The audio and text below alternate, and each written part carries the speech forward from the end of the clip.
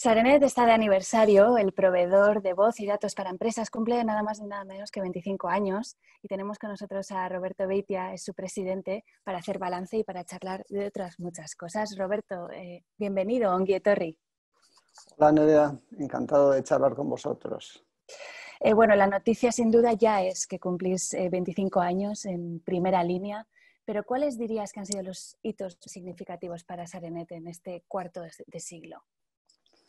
Bueno, mm, he tenido que hacer un poco memoria y son, son muchos años. Voy a intentar resumir los puntos más destacados porque hay que tener en cuenta que cuando nosotros empezamos en el 95, en España solo había tres proveedores de Internet. Y de esos tres proveedores de Internet solo quedamos nosotros porque ha habido un montón de cambios, adquisiciones, fusiones, entradas de los grandes operadores, etc. Pero cuando comenzamos, Internet estaba desligada al mundo de la telefonía, de los grandes operadores de voz. En aquel momento Telefónica es lo único que teníamos. Eh, ya en el 95 nosotros usábamos RDSI para tener comunicaciones más rápidas desde el lado del cliente. Eh, después, en el 97, visto lo difícil, lo caro que era conectar con Estados Unidos, que era el epicentro de Internet, pusimos en marcha un enlace satélite directo desde nuestra sede central hasta Estados Unidos para mejorar el acceso a las páginas de allí, que era de donde venía el grueso de la información. En el 98 eh, entró Vocento en, el accionario de Sarenet. Después, en el 2000, hubo un cambio tecnológico importante con la ADSL y eh, fuimos, hicimos un despliegue intensivo Hoy está superado, pero en su momento fue muy, muy importante porque el, modem pues, se quedaba un poco corto. En el 2005 integramos la telefonía IP, hoy también está perfectamente asumido, los datos y, los, y la voz viajan por las mismas redes, pero entonces era una gran innovación. En el 2009 tuvimos que renovar y potenciar los data centers que desde el principio tuvimos, pero que requerían un equipamiento mucho más profesional con eh, fuentes de alimentación interrumpida, grupos de eh, generadores, etcétera, etcétera, para poder garantizar la continuidad de los servidores. Después, eh, más adelante, añadimos la telefonía móvil en el 2014.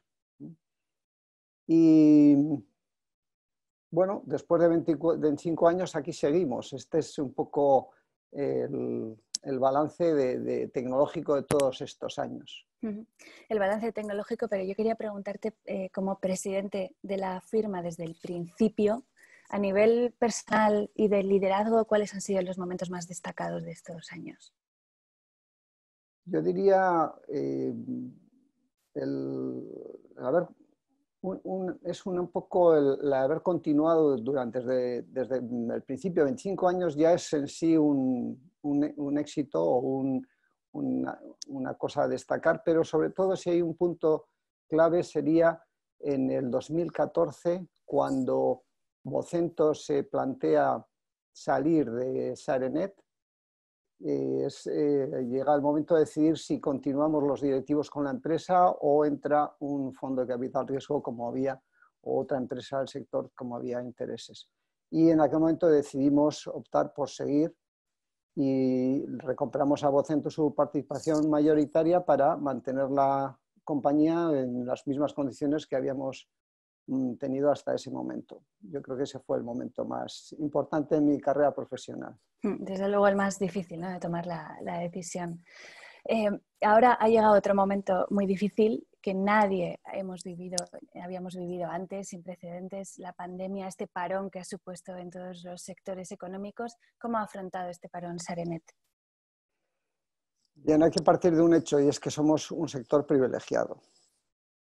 Las tecnologías de la información son fundamentales para el funcionamiento de cualquier empresa y para nosotros no ha sido un parón, para nosotros ha sido una prueba porque hemos tenido que poner en marcha mucho teletrabajo de nuestros clientes, de manera que podían estar en casa igual que estaban en la oficina, con su extensión de la centralita virtual, con su conexión bien securizada para evitar intrusiones y lo que sí hemos notado es menos actividad de proyectos que se ponen en marcha. Pero bueno, lo hemos paliado con más desarrollo de producto interno. Es decir, hemos seguido en plena actividad, no ha habido ninguna reducción de ningún tipo. Y lo que sí hemos hecho es, bueno, por las circunstancias, potenciar lo que llamamos las herramientas de trabajo en grupo eh, que hemos puesto a partir de software libre para que el, trabajo sea mucho más eficiente, con mensajería, transmisión de ficheros, videoconferencia, por supuesto, y los eh, añadidos al, correo electrónico como son la, toda la, agenda y los contactos habituales. Pero bueno, mm, no ha habido una incidencia más allá de la reducción general de actividad eh, comercial. ¿Se puede imaginar uno una situación similar sin la tecnología con la que contamos ahora? Pues sería un, un escenario muy, mucho peor, vamos, que eh, si ha habido menos incidencia es gracias a tecnología. Y yo he visto en estos 25 años muchos intentos de incorporar la videoconferencia y ha sido increíble cómo, eh, gracias a la pandemia, pues hemos hecho un cursillo acelerado y todos lo hemos adaptado con suma facilidad.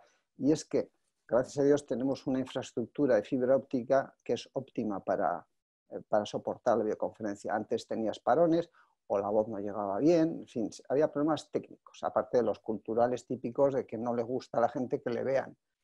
Pero eh, está absolutamente superado y yo creo que esto va a marcar un hito, es decir, eh, se van a evitar muchas reuniones presenciales cuando hay que juntar a un grupo de gente en, en una misma hora y bueno, supone una gran eficiencia porque te evitas un montón de desplazamientos, complicaciones, etc. De todas maneras, eh, tengo que decir que el, trabajo en casa está muy bien, pero como complemento. O sea, somos más partidarios de la interrelación personal, del comentario fuera del trabajo, en fin, esa relación humana más allá de la puramente profesional. Y esta, eh, comentabas antes el, tema de la, fibra, de la infraestructura, la importancia de las inversiones que se han ido haciendo durante años para responder y salir airosos de, un momento como este. ¿Qué cambios ha producido esta situación que van a quedar a nivel mentalidad, tal vez a nivel tecnológico? Eh, como decía, la, la, parte de la biconferencia que se ha adaptado sin ningún trauma, luego, la mm, digitalización yo creo que también se va a acelerar. Todas las crisis suponen una aceleración en los procesos de evolución naturales. Es decir, lo que hubiera llevado cinco años de forma natural sin crisis eh, sanitaria, lo vamos a hacer en un año, eh, puedo decir, eh, por, mm, por causa de la crisis o gracias a la crisis, aunque no hay que agradecer mucho a esta crisis, la verdad.